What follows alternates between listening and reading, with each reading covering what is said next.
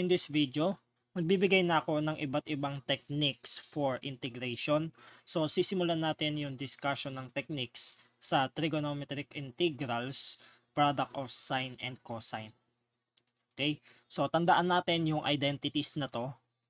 So, sine A plus B plus sine A minus B that is equal to 2 sine A cosine B. Okay? Then next, cosine A plus B plus cosine A minus B that is 2 cosine A cosine B and 3 for number 3 cosine A minus B minus cosine A plus B that is 2 sine A sine B. Mas maganda kung kabisado nyo yung identity na to. Okay? So, kapag nakita natin or na-encounter natin yung ganitong part na magkadikit yung sine tsaka cosine o kaya naman cosine cosine or sine sine pwede natin siyang palitan as ganito. Okay? So, proceed tayo sa example. Okay, so for number 1, let's find the integral of sine 2x cosine 3x dx. Okay, so dito magkatabi yung sine tsaka cosine. So, gagamitin natin yung una.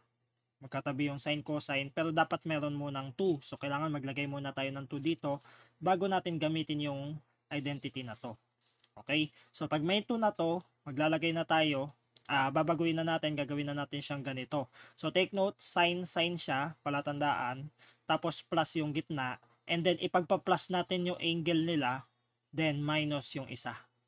Okay, so gawin natin. Lagyan muna natin to ng 2.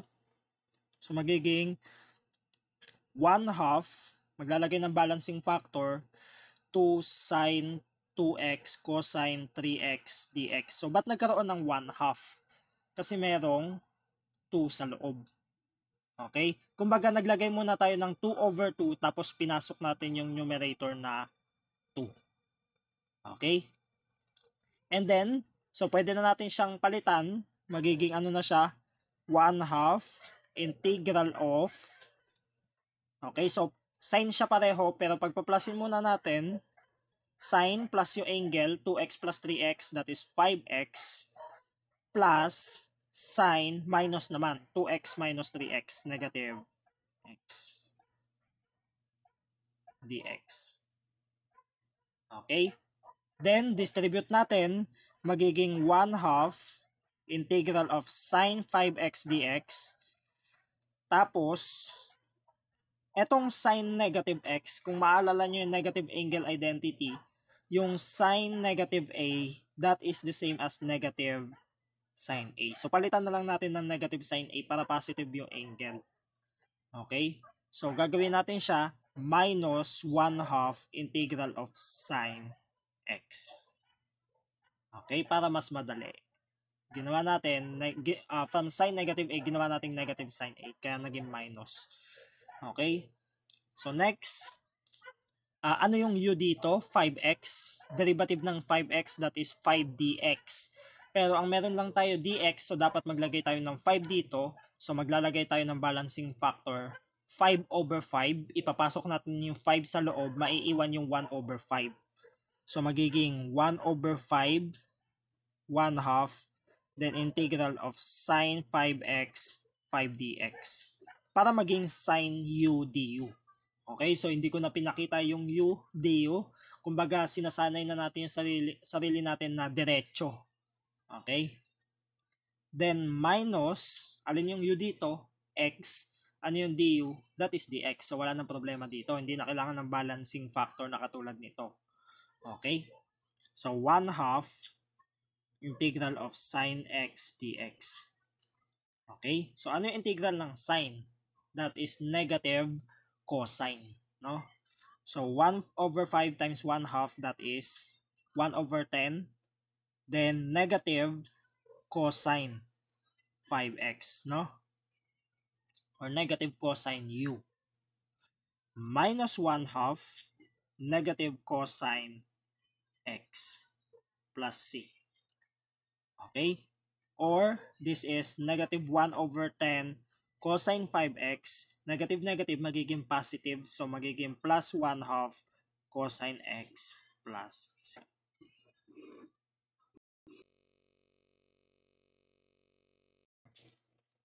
For number 2, let's have 3 cosine 7x cosine 9x dx. So, ito naman magkadikit dalawang cosine. Cosine A, cosine B. Pero 2 dapat, hindi 3. So, maglalagay pa tayo ng 2 dyan. Tapos, ilalabas natin tong 3 bago natin magamit yung formula. So, mapapansin nyo, cosine, cosine, tapos plus, tapos plus yung angle, minus yung angle. So, yun yung gagawin natin. Okay, so labas muna natin yung 3, tapos maglalagay tayo ng 2. So magiging 3 over 2 integral of cosine uh, 2 cosine 7x cosine 9x dx. Okay, so naglagay ako ng balancing factor dito na 2 over 2. Pinasok ko yung 2, tapos yung 3 na nandito kanina nilabas ko kaya naging 3 over 2. So saka natin i-convert siya magiging 3 over 2 integral of, okay, cosine, plus muna, 7x plus 9x, that is 16x, then, plus, cosine, 7x minus 9x, that is negative 2x. Okay, so bracket natin siya. dx. Okay, so ganun lang, no? Plus yung angle, ito yon minus yung angle, ito yon Okay? Next. So, ang gawin natin, i-distribute natin siya. So, 3 over 2 cosine 16x dx plus 3 over 2 integral of cosine. Palitan na natin to ng positive kasi nga negative angle identity cosine negative a equals cosine a. So, same lang yan. So, dito, kahit palitan natin ng cosine 2x para madali lang siya mamaya. Okay?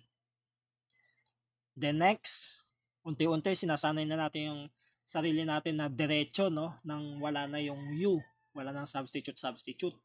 So dito, alin ang u natin 16x kapag di, kinuha natin yung derivative 16dx. Okay, so imagine niyo na lang 16dx pero ang meron lang dito ay dx. So kailangan natin maglagay ng 16 So para mag makapaglagay tayo ng 16, maglalagay tayo sa labas, balancing factor. So 1 over 16 tapos 3 over 2. Ito yon 3 over 2. Integral of cosine 16x tapos 16 dx. Okay, so paano nagkaroon ng 16? Kasi nag-multiply tayo ng 16 over 16 tapos pinasok natin tong 16. Natira yung 1 over 16 sa labas. Okay? So next, ito naman, u natin 2x, kunin natin yung derivative 2dx, walang 2 dito. So maglagay tayo. So plus 1 half, tapos kopya natin tong 3 over 2, then integral of cosine 2x 2dx. Okay? So next, i, an, i pag-multiply natin to, so 3 over 32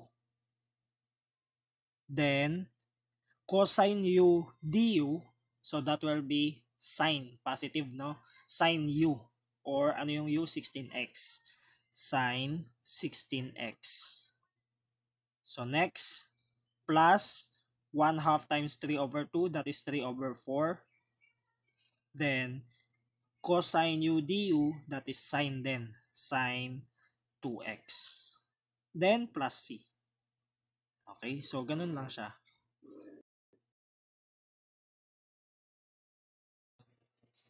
For last number, find the integral of 2 third sine 4x sine 7x. So ito, magkadikit naman yung sine.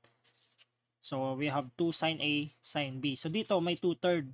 Pag nilabas natin tong 3, yung nasa denominator, 1 third, may matitira ng 2. Okay, magagawa na natin to. Tapos tandaan natin, cosine, cosine pareho, pero minus na yung gitna at nauna na yung difference.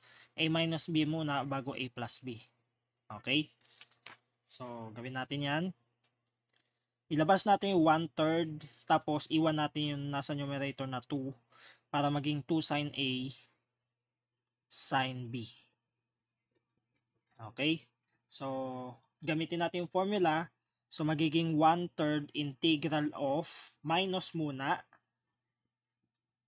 cosine 4x minus 7x that is negative 3x minus cosine 4x plus 7x 11x dx.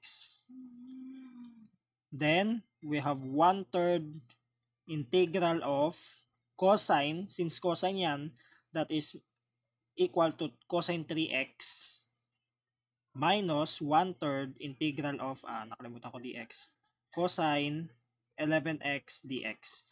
So by the way, ah, take note ah, kung nakalimutan nyo yung negative angle, nagpa-positive lang siya kapag cosine Same lang siya sa cosine A. Tapos kapag secant. Okay? So the rest, halimbawa yung sine, magiging negative na siya. Okay? Magiging ganyan na. Pat, pati yung natirang tatlo.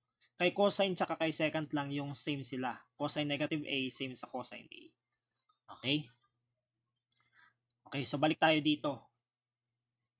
So dito naman, alin ang u natin dito? 3x. Derivative ng 3x, that is 3dx. Kailangan natin ng 3 dito. So maglalagay ulit sa labas. 1 third times 1 third integral of cosine 3x 3dx.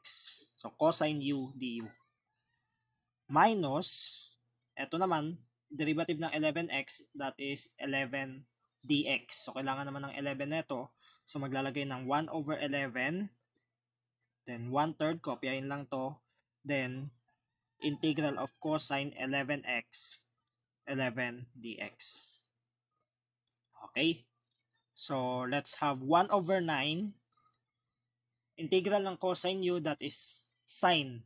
Okay, sine u. So, sine 3x minus 1 over 33 cosa, uh, sine 11x, no? Sine 11x then plus C. Okay.